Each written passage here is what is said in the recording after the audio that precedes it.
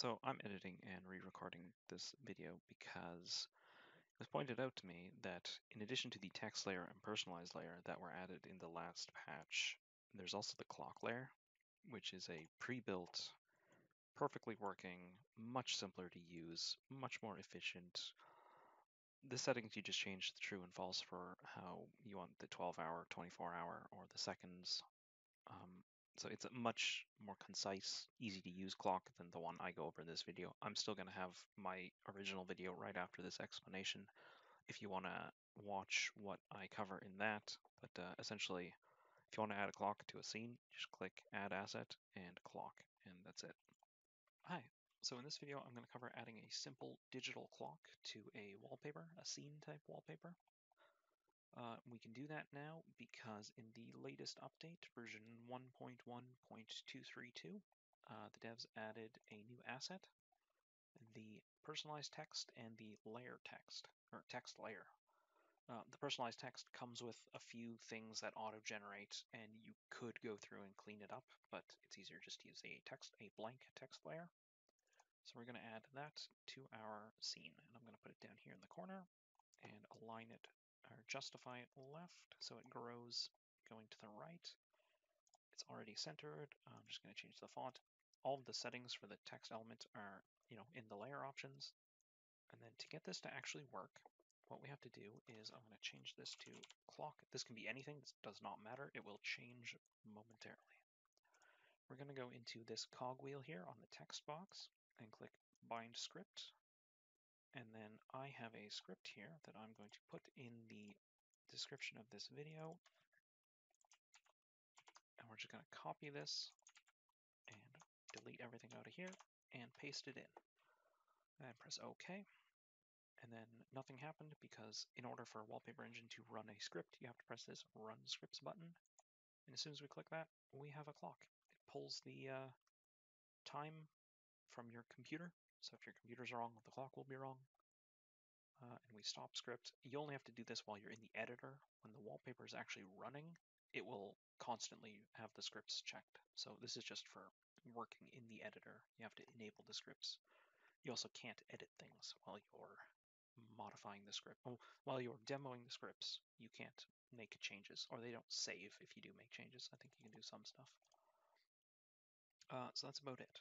Um, it's a two-step process. You add the text layer, and then you paste in the pre-made script that I'll have in the description of this video. The only other thing to keep in mind is this section of the script here and line 26 of the script here. So this section lets you toggle between a 24-hour clock and a 12-hour clock. By default, it is a 12-hour clock. If you want a 24-hour clock, you grab this closing um, comment and comment out everything. So we're going to drag it down here. And then you also have to get rid of this variable. So comment out this section and the AM-PM tag from the string. That's this string down here.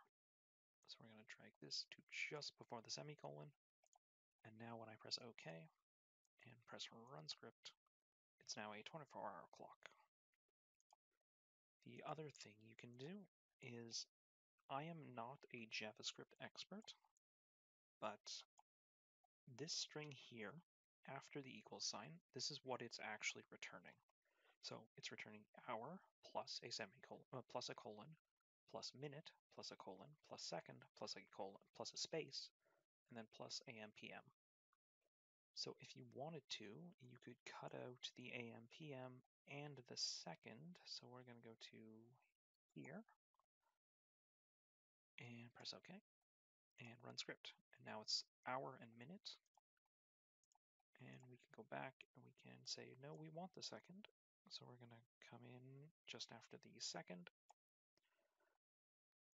and press run script. And now we have hour, minute, second. So you can control what it displays by commenting out the individual.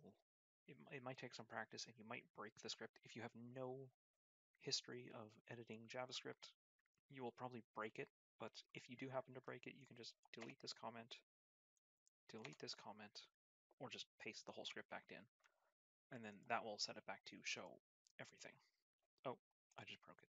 Something broke. AM, PM. What did I do? oh, it's broken because I have the AM, PM tag showing but I have it in 24 hour clock mode. So I have to unhide this. And now it will work again. So it'll take a little bit of troubleshooting. You kind of have to work with that script a little bit. It should be mostly self-explanatory, and if not, you can always reference back to this video, and I think I cover most of it. Uh, anyways, you can do anything you want to this object. You can add effects to it, just like any image. You can add parallax to it if you wanted to. So we can come in here and add parallax to the background and change the parallax on this and put it back in here. And now you would have a mouse tracking with a clock scene wallpaper. You can just add this single layer into any wallpaper you already have and it will have a clock. So that's a fairly requested thing, and now it's possible with the last update of Wallpaper Engine. Anyways, good luck.